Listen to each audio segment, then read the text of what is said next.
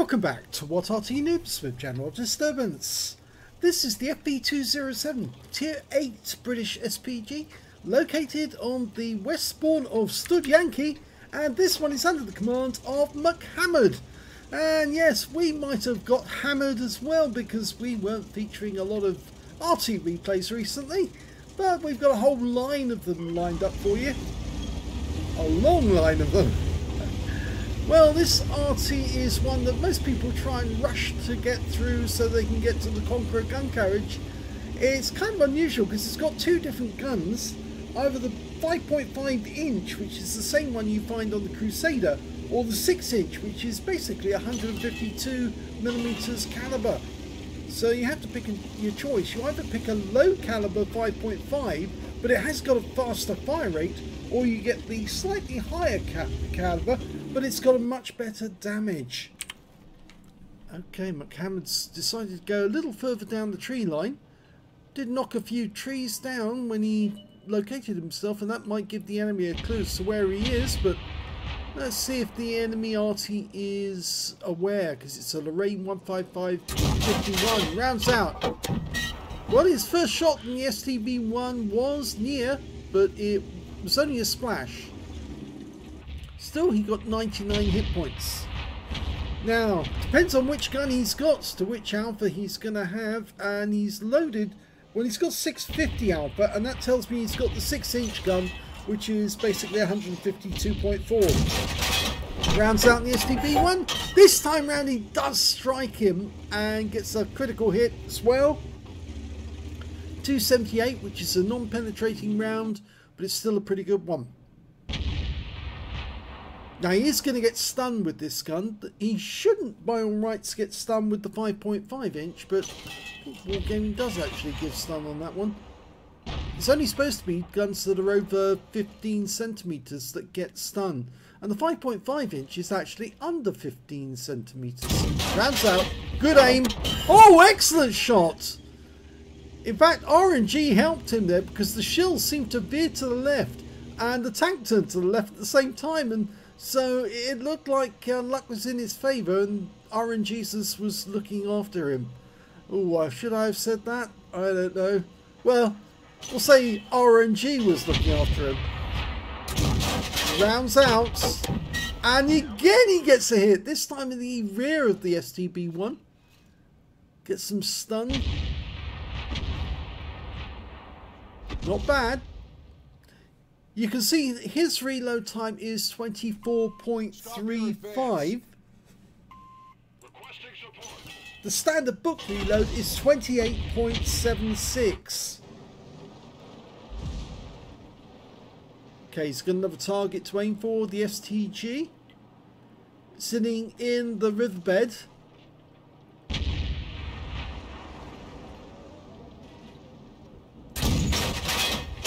Oh, he's still got a hit. 289. That's a good one. So it's 650 alpha with a penetration of only 38 millimeters. To get a pen, you'd actually have to hit something with a very thin skin. Mm, there's a few tank destroyers that fit that sort of uh, that sort of specification, or an arty for that matter, because they have fairly thin armor as well. But most of these tanks, well, I'm afraid he's probably not going to penetrate the tanks, but he's probably going to do some damage to the enemy uh, TDs. Now, he thinks there's an arty up in there.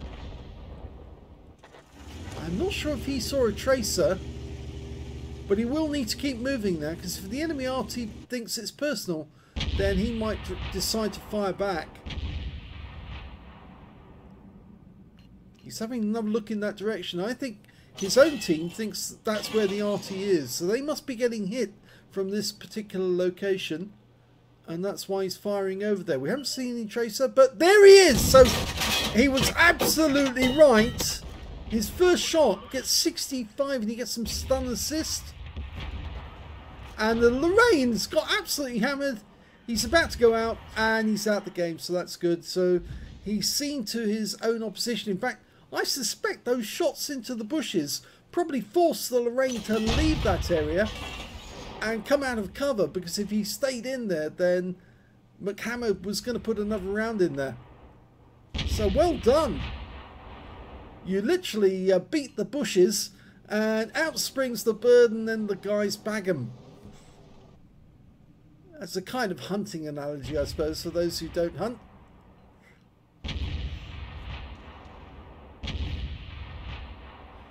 Jaegeru, grabs out. Oh, kill shot! he overwhelmed him. Beautiful. He went blind on the, or non-spotted, but he still put the round in. Doesn't matter if he knocks any trees down now, because there's no enemy arty to counter him. And he doesn't really have to relocate unless, of course, he wants to get a better angle on the enemy. That T-54 Mod 1's, though, has moved up to the copse at the north of the map, and our Astron Rex has had to pull back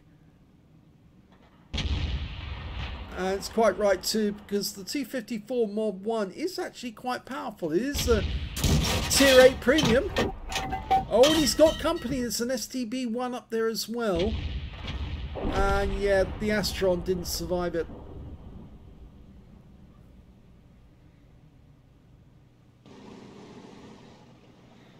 We're one down on the enemy at the moment, but there's plenty of targets for McHammer to fire at.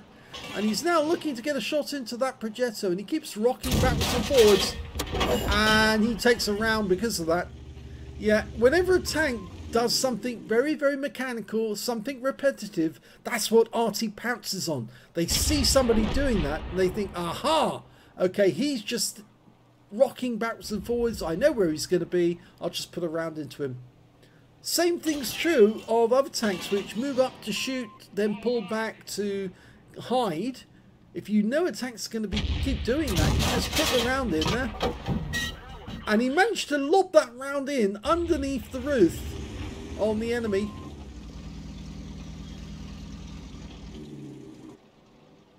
They've equals the score now, but the T-54 Mod 1 is getting closer and closer to the railway line. Luckily, he's being stopped by a Death Star and an Object 907. And the 907 is more than a match for T54 Mod 1. And McHammer's round one, we didn't see where that one went. And also, surprisingly, he's getting closer and closer to that T54. But I think the reasoning behind it is that if he can get closer, he might have a quicker reaction time on him. And it also might help him with the angles on this TNH and this ST2. Okay, he doesn't want to fire at the moment because that IS-3-II would possibly take the round. But if, if he pulls back, as he is doing now because he's reloading, then he might get a chance.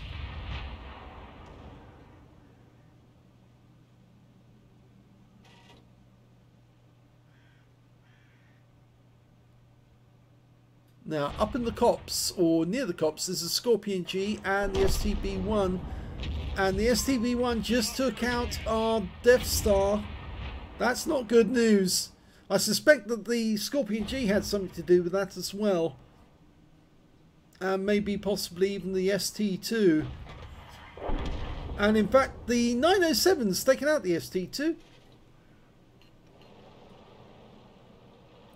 The difficult thing about the 907 is it's very difficult to know where on the vehicle to hit it because some parts of the vehicle which show are not parts of the hitbox.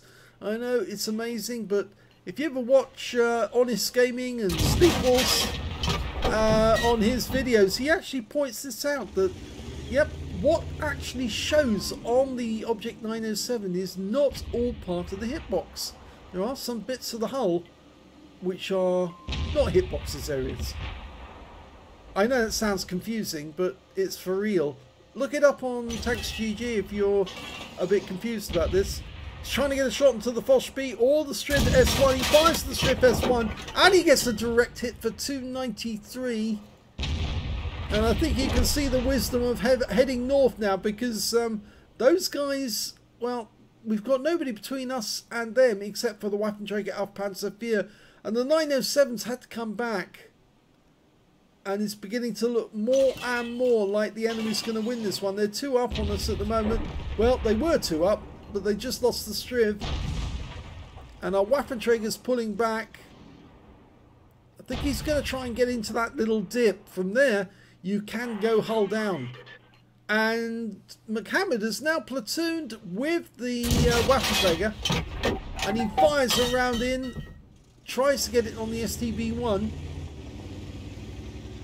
He probably did stun him, but nothing recorded. Again, changing position. That TNH keeps poking out.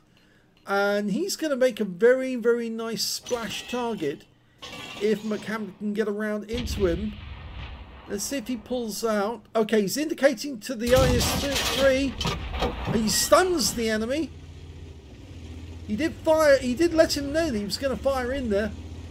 And he has the uh, IS-3-II did kill the TNH T-Viz 51, which is good news. And it might be that the stun actually did help, but nothing's been recorded.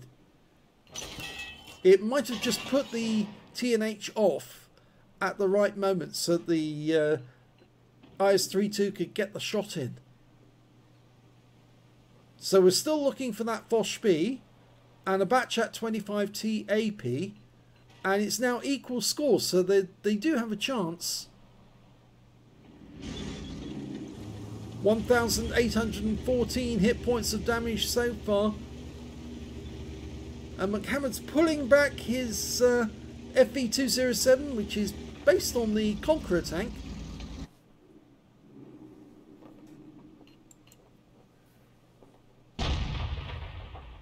Still looking in that direction, dialing in just in case. If he pokes his head round the corner. Oh, he's been spotted! And he's it's the Batchat. The little uh, medium tank, like a junior version of the Batchat 25 ton. You still can't see where that Foch B is though.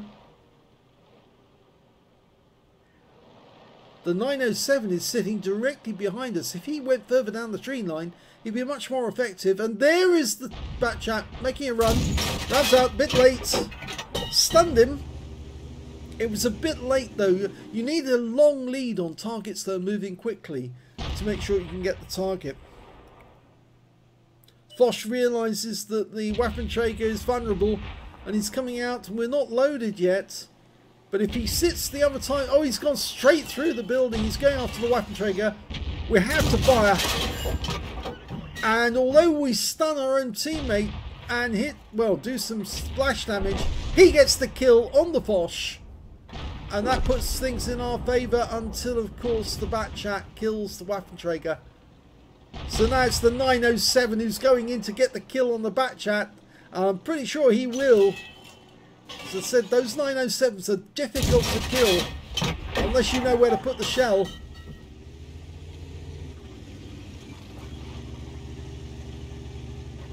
Well, he got him. And that's three versus two. But we do know the STB-1 and the Scorpion G were last seen in the north. Now our IS-3-II has been keeping an eye out on that area and he's kind of saying to the 907 fall back because he thinks that there's uh, another enemy down that end. They might have actually gone all the way around the map but they haven't actually. The STB-1 is coming in this direction now and unfortunately Mohammed's just a little too close to the buildings to be effective. He's trying to get himself more room. He probably could get a shot at the STB-1. He misses. This is where that 25 second reload comes really, really anxious moments when you know one of your teammates is under fire. But he's taken out the STB-1 and that means now there's only one enemy left. It's the Scorpion G. And although he was last seen in the woods to the north, he could be anywhere on the map. Well, Mohammed's making his way towards the enemy camp area, but it's no late, too late for him to camp out on his own. And the, the Scorpion G's been spotted, but Mohammed is out in the open, which means, of course, he's going to be vulnerable. Scorpion G takes a hit. Now dial in, get ready, grabs out, yes! Wins the game. I'm sure he's pleased about that. Here's the end of battle stats, and that was an ace tanker game for Muhammad in the FV207. He got a Bruiser medal for getting at least five critical hits. In this one, he managed to get uh, seven. And he also got a Confederate for hitting more of the enemy than anyone else on his team. At least six tanks subsequently taken out by other teammates. And you can see this battle was from two months ago. Let's have a look at team score. Well, he didn't get the highest damage in the game. No, that actually went to the STB-1 on the enemy team with 5,400 and I think that's 83. Uh, the second highest damage in the game was the Waffenträger he platooned with, with 4,917. Third highest damage was the Object 907, 4,597. McHammer picked up 2,573, which means he wasn't a slouch. He was doing his job as effectively as he could, and the fact that he got a Confederate proves that as well. When it came to kills, it was the Object 907 and the Waffenträger who shared 4 kills apiece. 3 kills apiece went to the STB-1 and the Batchat 25T AP, and 2 kills went to McHammered and to the Concept 1B on the enemy team. When it came to base XP, though, it was the IS-3-II did the best with 1,199, and then McHammer was second with 1,193. Third was the Object 907 with 1,157. McHammer fired 21 rounds in that game, seven direct hits on the enemy, no penetrations. I'm afraid, yeah, that does kind of lack penetration. This uh, this gun, 19 splashes as well. 2,573 hit points of damage, all of it done at more than 300 metres. Damaged 9 of the enemy, killed 2, so there was a 7 difference there. 1,824 hit points of stun assist off 16 stuns. He received 33,414 credits for the game, 80,000 from personal missions payout, and after ammunition resupply took away 104,501 credits for the game. 1193 XP times 2 for the first victory took away 3580 experience points. He said he enjoyed it. I can understand that. It's a difficult battle because he was constantly having to move north and south because the enemy was threatening from both directions. But thankfully, it all worked out well in the end. And he did have an input on uh, getting at least two tanks uh, as well on top of the well one tank that he uh, didn't actually take the kill on that TNH he stunned him and I think he upset him enough to actually uh, have an effect that caused him to die and I certainly think he did very, very well to get that hit on the uh, Scorpion at the end. He waited patiently to let it fully dial in, but I think the funniest skill of all in that game was the Jaegeru. The Jagdpanzer was unspotted at the time, but he put the round down exactly where he was last seen, and yes, he was still there, and the shell went in, and although it didn't penetrate him, it overwhelmed him, and that's why he was out the game. So well done to McHammered. If you enjoyed that game, please give this video a like, do subscribe to our channel, leave a little comment down below because it feeds the algorithm.